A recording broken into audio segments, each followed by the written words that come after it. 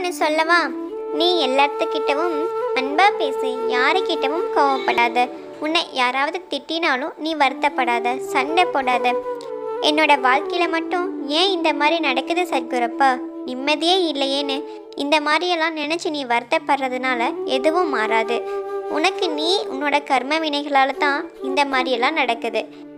நீ எதுக்குமே கவலைப்படாத. உன்னோட கர்ம வினைகள் எல்லாத்தையும் நான் சரி பண்ணிக்கிட்டு இருக்கேன் இன்னும் கொஞ்ச நாள் உன்னோட கர்ம வினைகள் எல்லாமே சரியாகி நீ சந்தோஷமா நிம்மதியா வாழ போற.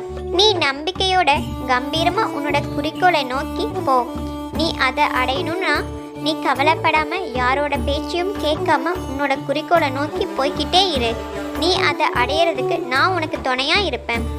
அதுல உன்னை வெற்றி அடைய செய்வேன்.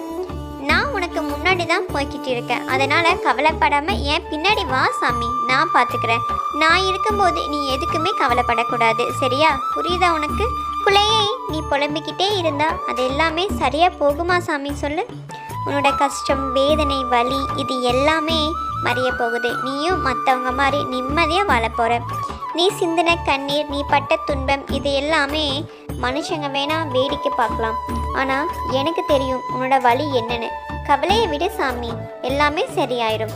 யார் உன்னை வெறுத்தாங்களோ யார் உன்னை அழ வச்சாங்களோ அவங்க முன்னாடி நீ வளர்ச்சி அடைஞ்சு உன்னோட வாழ்க்கையில் வெற்றி அடைவேன் திடீர்னு நீ நினச்சி பார்க்க முடியாத நேரத்தில் உனக்கு மாற்றத்தை நான் கொடுப்பேன். நீ எதுக்குமே கவலைப்படாத. உன் கூடவே நான் எப்பவும் துணையாக இருப்பேன்.